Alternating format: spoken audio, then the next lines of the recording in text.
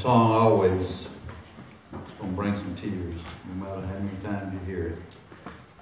And as I was listening to it, I was thinking about Jerry just right across the train tracks. That was the thing I was thinking about.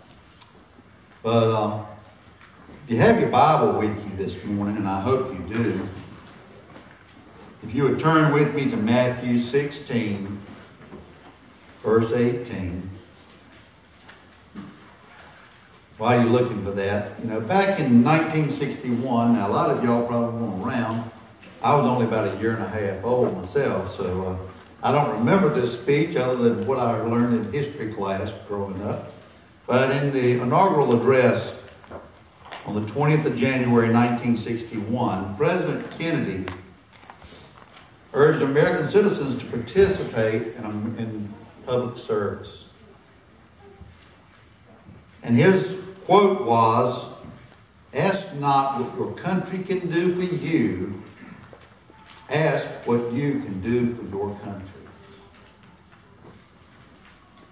I've heard it quoted many, many times in my lifetime.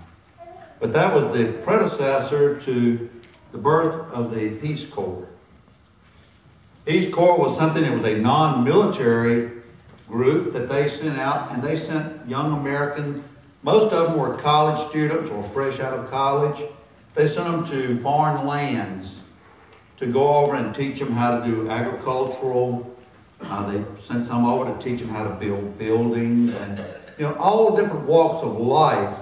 But they sent them over to foreign countries to help out in a promotion of peace, of harmony, that we could work with other countries in harmony. You know, as Baptists, we have the North American Mission Board and the International Mission Board. Know, the Southern Baptist Convention was formed in 1845 mainly to create these two mission boards. That's the whole idea behind the Southern Baptist Convention, was to combine mission efforts between the, these two, as I said, International Mission, North American Mission. Back then it was called the Foreign Mission Board and the Domestic Mission Board, which later came the International Mission Board and the North American Mission Board. The only difference between our mission boards and the Peace Corps is one major difference. We go out to spread the gospel of Jesus Christ. Through that, we also promoting peace and working with others. But that's the only main difference in the two because our missionaries go out, they help to work with people how to build buildings. They're not just going out and carrying religious tracts around. I've been on mission trip myself. Melanie and I know a few others have been on mission trip here. I went down and helped to build a caretaker's cottage on a youth camp down in Costa Rica several years ago. We weren't going down there toting our Bibles and, and preaching and teaching to the people. We were helping to build buildings, but through that they knew that we loved them enough and that Jesus Christ loved them enough that He sent us down there to work with them.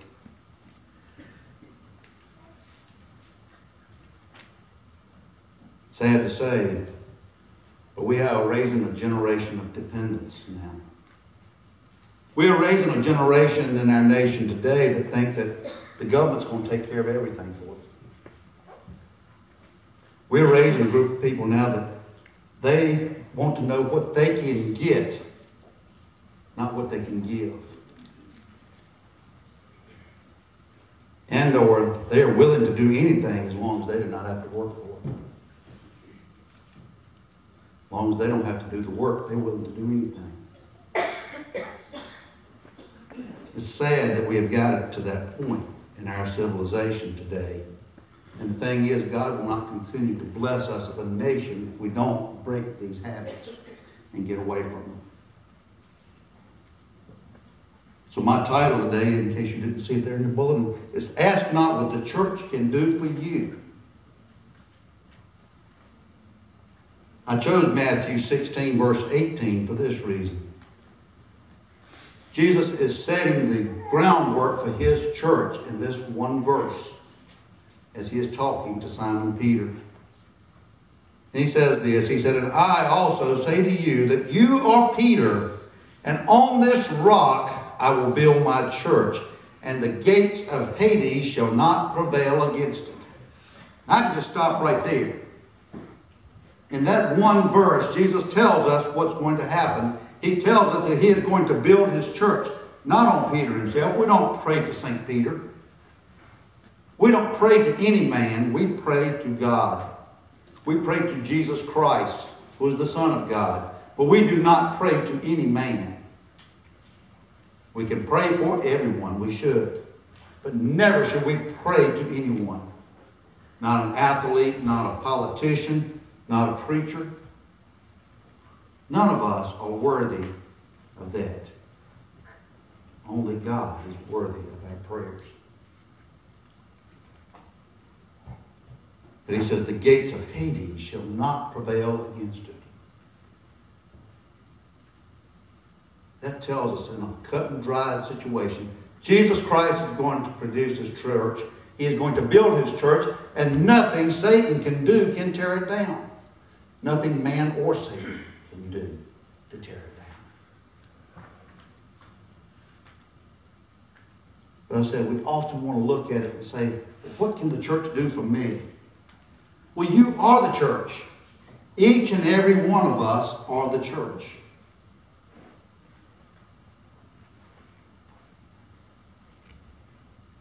Now, the basic understanding of the church in the New Testament requires answers to three basic questions. What does the word church mean? That's number one. What are the characteristics of a church? And last, how did the early church grow and expand? Or how can we continue to make our church grow and expand? That's the easier question. How can we? Now, the first is the church. Now, the church is the English translation of the Greek word ecclesia. Ecclesia.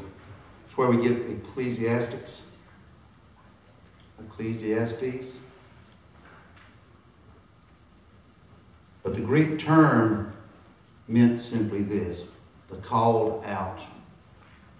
And it was commonly used to indicate an assembly of citizens of the Greeks. It was used in Acts 19, verse 32. It says, Some therefore cried out one thing and some another, for the assembly was confused, and most of them did not know why they had come together. At that point in time, the church, the church was in its infancy. It was dazed and confused, I guess is the easiest way to say it. They were not sure quite exactly how they needed to go. They knew God was calling them to do something, but they weren't quite sure how. And the whole time, God was working in the midst of them and working through the Apostle Paul and all the other disciples. They were working there to get things laid out, to get a, a structure there. That's where we get the term of a church as being a building, is the structure that it takes to bring those believers together. A church is simple. It's a body of believers. It's not a building. It's not a bricks and mortar building. A church is simply a body of believers. In Acts 19 39 says, But if you have any other inquiry to make, it shall be determined in the lawful assembly. They brought forth the law, they brought forth some order to the church. They were bringing the church together as one body, a body in Christ where Jesus Christ stands as the head. I'm not the head of this church, nor the deacons, nor anyone else in this building is the head of this church. Jesus Christ is the head of our church. And that's the way it's supposed to be. So when early Christians were coming together and trying to understand themselves, they were trying to constitute a church. So no doubt existed they perceived themselves as called out by God in Jesus Christ. They were called out for a special purpose and that their status was a privileged one in Jesus Christ. It's a privilege to be a Christian. It's a privilege to have a Lord and Savior known as Jesus Christ.